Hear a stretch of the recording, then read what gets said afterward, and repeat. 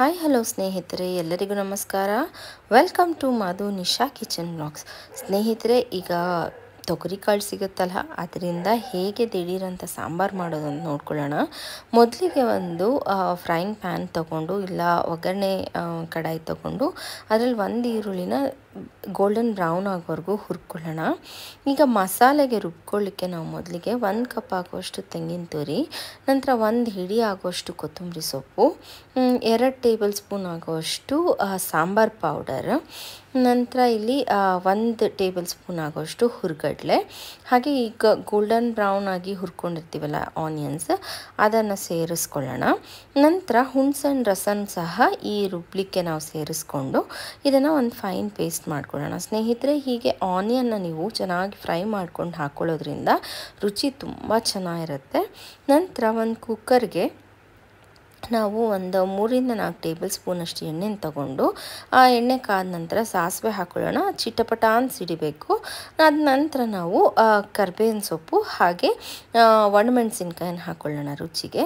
ನಂತರ ನಾನು ಉದ್ದುದ್ದಕ್ಕೆ ಹೆಚ್ಚಿಟ್ಕೊಂಡಿರೋ ಒಂದು ಈರುಳ್ಳಿ ಹಾಕ್ಕೊಂಡು, ಅದು ಚೆನ್ನಾಗಿ ಫ್ರೈ ಆದ ನಂತರ ಒಂದು ಕಪ್ ಆಗುವಷ್ಟು ತೊಗರಿ ಕಾಳನ್ನು ತೊಗೊಂಡಿದ್ದೀನಿ. ನೋಡಿ, ಎಷ್ಟು ಫ್ರೆಶ್ ಆಗಿ, ಎಷ್ಟು ಗ್ರೀನ್ ಕಲರ್ಫುಲ್ಲಾಗಿ ಚೆನ್ನಾಗಿ ಕಾಣಿಸ್ತಾ ಇದೆ.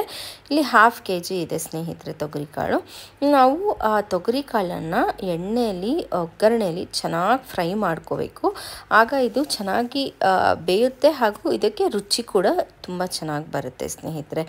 ನಂತರ ಇಲ್ಲಿ ನೀವು ತೊಗರಿ ಕಾಳು, ಬರೀ ತೊಗರಿ ಕಾಳು ಹಾಕೋ ಹಾಕೋಕ್ಕಿಂತ ಒಂದು ಬದನೆಕಾಯಿ ಹಾಗೆ ಒಂದು ಆಲೂಗಡ್ಡೆನ ಸೇರಿಸ್ಕೊಂಡ್ರೆ ಆಹಾ, ಸಾಂಬಾರು ರುಚಿ ಎಷ್ಟು ಚೆನ್ನಾಗಿರುತ್ತೆ ಅಂತೀರ ಸ್ನೇಹಿತರೆ. ಒಮ್ಮೆ ಹೀಗೆ ಬದನೆಕಾಯಿ ಮತ್ತು ಆಲೂಗಡ್ಡೆ ಹಾಕೊಂಡು ಟ್ರೈ ಮಾಡಿ ಸಾಂಬಾರು ಮಾಡಲಿಕ್ಕೆ. ಯಾವುದಾದ್ರೂ ಕಾಳು, ಪ, ಸಾಂಬಾರು ಮಾಡಬೇಕು ಅಂದರೆ ರುಚಿ ತುಂಬಾ ಚೆನ್ನಾಗಿರುತ್ತೆ. ಈಗ ನಾವು ಒಂದು ಟೊಮೆಟೊನ ಹೀಗೆ ಸಣ್ಣಕ್ಕೆ ಹೆಚ್ಕೊಂಡು ಇದನ್ನು ಸಹ ನಾವು ಫ್ರೈ ಮಾಡ್ಕೊಳ್ಳೋಣ ಸ್ನೇಹಿತರೆ. ಒಂದು ಎರಡರಿಂದ ಮೂರು ನಿಮಿಷಗಳ ಕಾಲ ಚೆನ್ನಾಗಿ ಟೊಮೆಟೊ ಬೇಯಬೇಕು. ಅಲ್ಲಿವರೆಗೂ ಫ್ರೈ ಮಾಡ್ಕೊಳ್ಳಿ. ಈಗ ಟೊಮೆಟೊ ಎಲ್ಲ ಫ್ರೈ ಆದ ನಂತರ ನಾವು ರುಬ್ಬಿಟ್ಕೊಂಡಿರ್ತೀವಲ್ಲ ಮಸಾಲೆ, ಅದನ್ನು ಹಾಕ್ಕೊಂಡು ಇದನ್ನು ಸ್ವಲ್ಪ ಹೊತ್ತು ಒಂದು ಕುದಿ ಬರೋವರೆಗೂ ಕುದಿಯೋಕ್ಕೆ ಬಿಡೋಣ. ಇಲ್ಲಿ ನಾನು ರುಚಿಗೆ ತಕ್ಕಷ್ಟು ಉಪ್ಪನ್ನು ಸೇರಿಸ್ಕೊಂಡಿದ್ದೇನೆ. ಇಲ್ಲಿ ಕನ್ಸಿಸ್ಟೆನ್ಸಿ ನೋಡಿಕೊಂಡು ನೀವು ನೀರನ್ನು ಆ್ಯಡ್ ಮಾಡ್ಕೊಳ್ಳಿ. ಚಪಾತಿ, ದೋಸೆ, ಇದಕ್ಕೆಲ್ಲ ಅಂದರೆ ಸ್ವಲ್ಪ ಗಟ್ಟಿ ಮಾಡ್ಕೊಳ್ಳಿ. ಅನ್ನ, ಮುದ್ದೆ ಎಲ್ಲ ಅಂದರೆ ಸ್ವಲ್ಪ ನೀರಾಗಿ ಮಾಡ್ಕೊಳ್ಳಿ ಸ್ನೇಹಿತರೆ.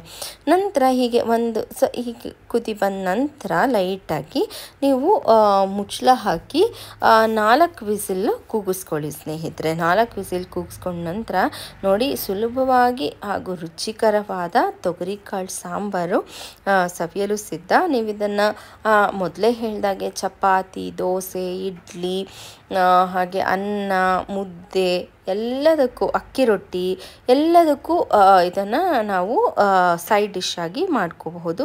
ತುಂಬ ಅಂದರೆ ತುಂಬ ಟೇಸ್ಟಿಯಾಗಿರುತ್ತೆ ಸ್ನೇಹಿತರೆ. ಹೋಪ್ ನಿಮಗೆ ರೆಸಿಪಿ ಇಷ್ಟ ಆಗಿದೆ. ಮತ್ತೊಂದು ರೆಸಿಪಿಯೊಂದಿಗೆ ಸಿಗ್ತೇನೆ. ಅಲ್ಲಿವರೆಗೂ bye thank you for watching.